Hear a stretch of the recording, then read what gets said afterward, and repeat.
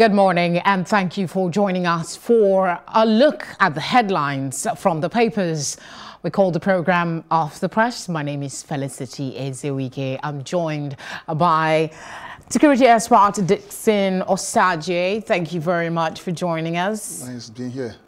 Uh, we'll be joined a little later by financial expert Jide Ojo. Uh, let's start things off with the Punch newspaper this morning. The big one here is NCDC cries out as rapid test kits black market rises.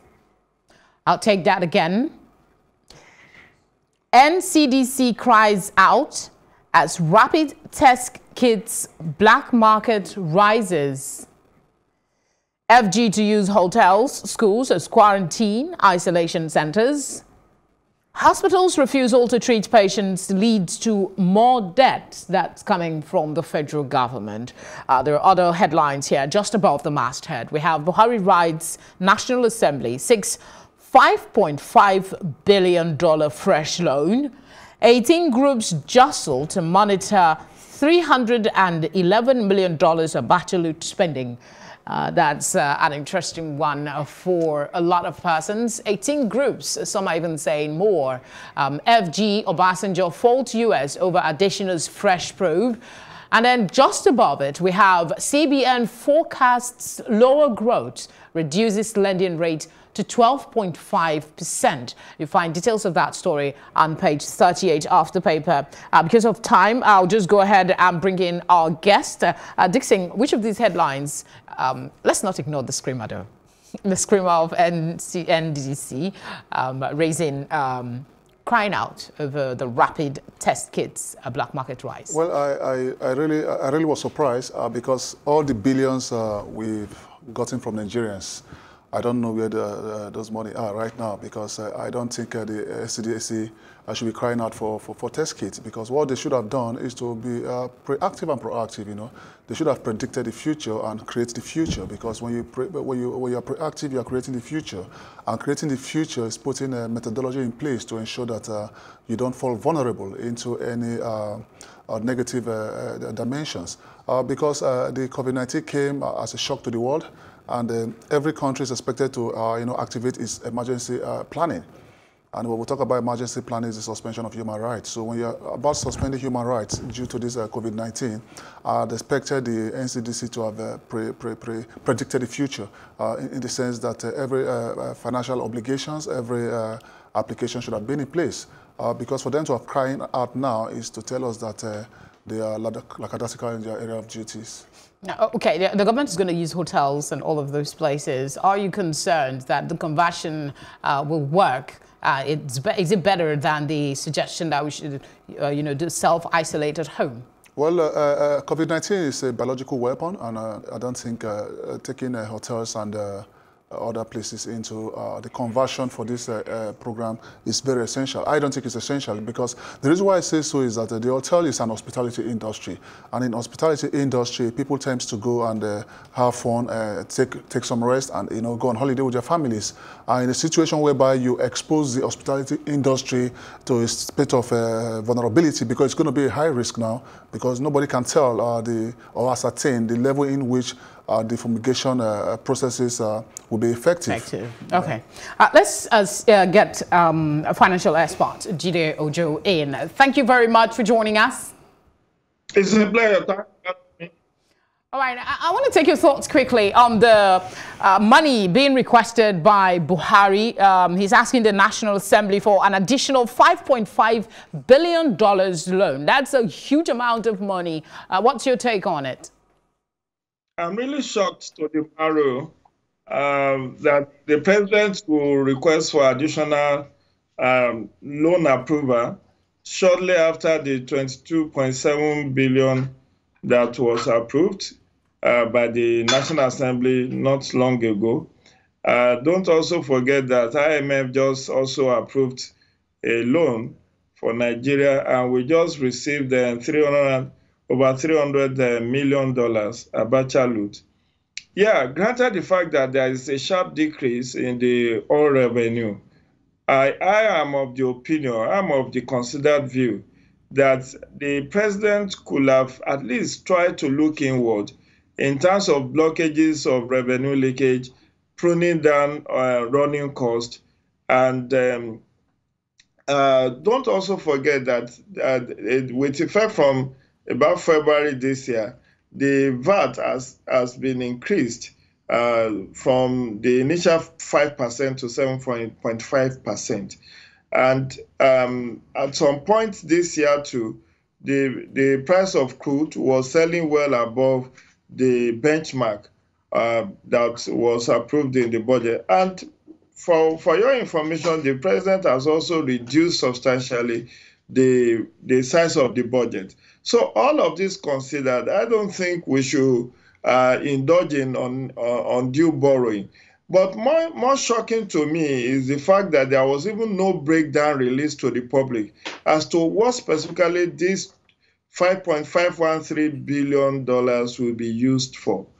If we do know, at least for Abacha loot, they told us they are doing uh, Second Niger Bridge, they are doing um, they are doing Lagos Ibadan Expressway and uh, Abuja Kano Expressway.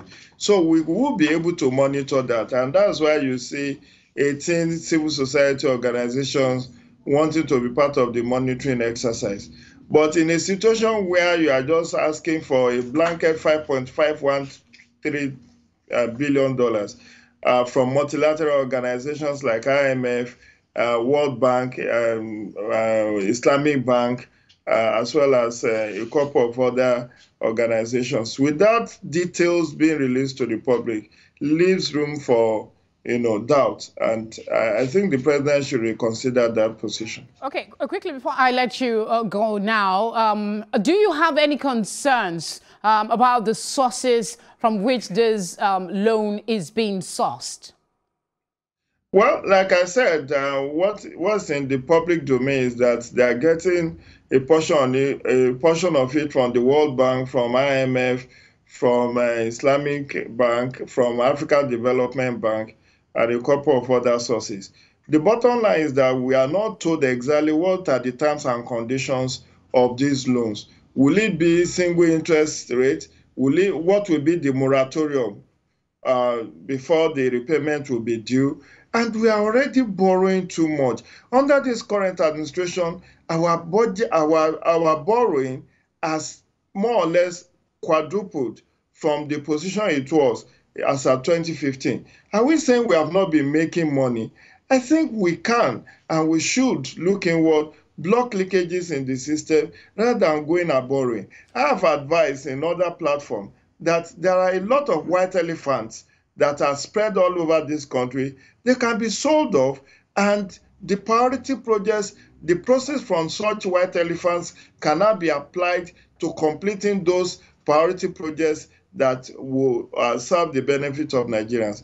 But right now, uh, going to IMF, World Bank, and all of that, and I, I asked myself when I saw IMF as part of the organizations that they intend to borrow this 5.1, uh, 5.513 billion dollars, uh, was it with a retroactive effect? Because I really do know that a couple of weeks back, IMF actually approved a loan for Nigeria. I can't, uh, top of my head, remember exactly how much. But we read in the papers that uh, IMF has approved a loan for Nigeria. So is it a fresh loan from IMF, or is it is that what is now being pushed uh, retroactively for uh, approval by the National Assembly?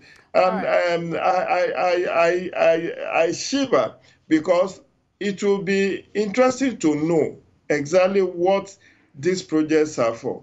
All so right, uh, Jide Ojo. Um, I'm afraid uh, we're time constrained. I'll have to say thank you very much uh, for giving us an insight um, on that particular issue. It's a pleasure. Thanks for having me and stay safe. You too, sir. You too.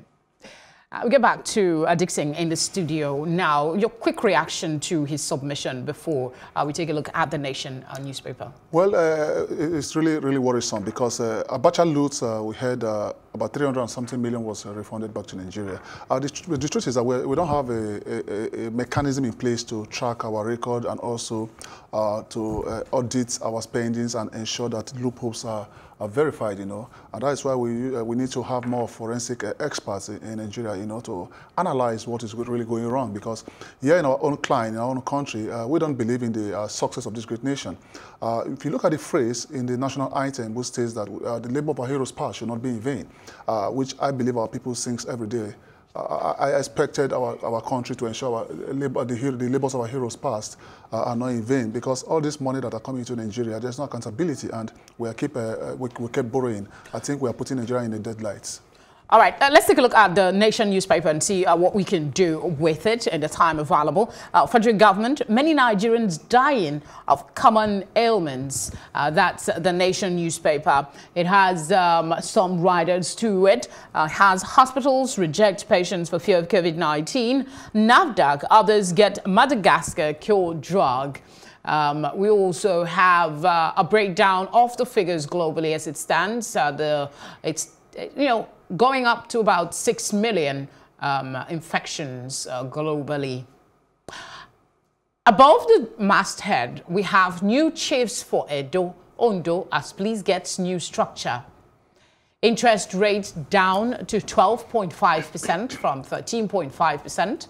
Uh, a little bit of sports is also on the front page. Uh, but let's uh, talk about the people dying from common ailment. Are we, um, there are people that are saying we're beginning to um, disregard every other aspect um, of life because of this pandemic. Is that true? Are we uh, causing more harm than good with the concentration uh, on the pandemic? You see, until we realize and uh, understand that uh, human lives are irreplaceable, uh, would uh, not get things right because uh, the value for human rights in Nigeria is highly dissipated uh, because uh, uh, human life matters. Uh, if you go to some advanced world, uh, uh, when you bring down a citizen, the nation will go after you. but here, you see people killed with immunity. people carry out actions that are detrimental to the Nigerian state with immunity.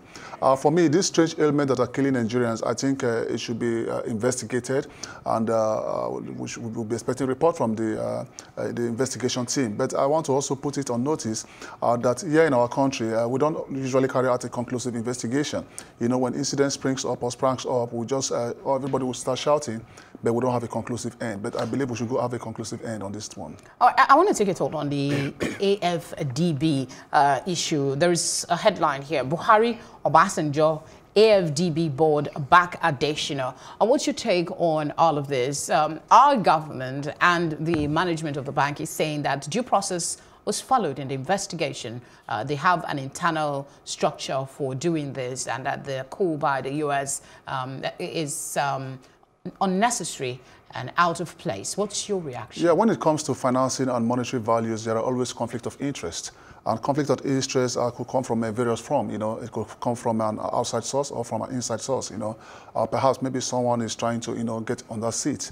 Uh, but for me, uh, uh, Buhari and uh, Obasanjo backing the uh, man is a good one because our citizens, you know, because uh, reputation matters. And that is why image management is very important because whatever goes wrong is going to affect his image till eternity. So I believe image management is important and uh, everything should be clarified. All right, let's jump to uh, the Nigerian Tribune. Buhari seeks approval uh, for $5.513 billion loan. Uh, we've um, spoken with um, financial expert Jide Ojo on that. Um, so we'll just uh, move on to the others.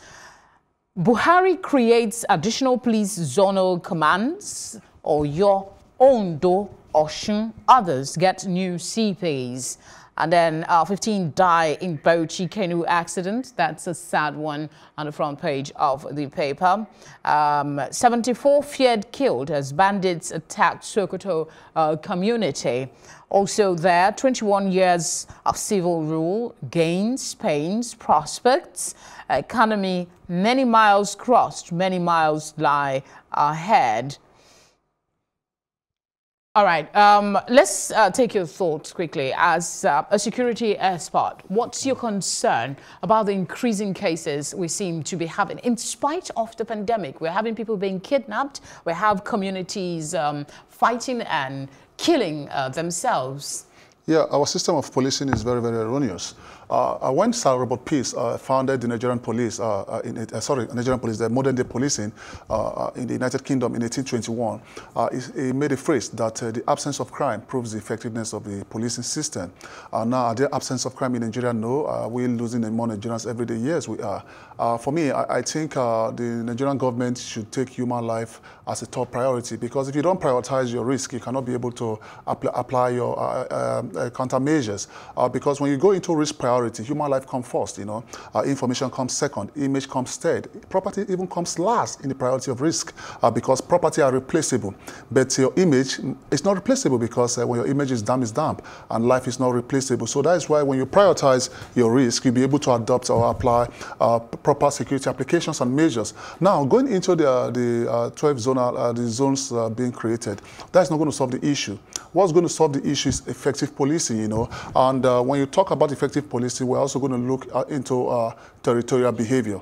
And uh, if our policing system will adopt territorial behavior, holding, holding into account our territory, not allowing the enemy to break into our space, giving enough of defensive space. we'll talk about defensive space. It's a situation whereby you and I will move around without being scared, you know. Then the Nigerian policing system will be a better place because human priority has to come first.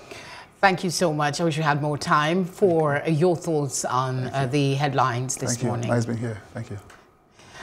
All right, and we thank you for watching the program. More stories and information here on Plus TV Africa. Do stay tuned and be safe.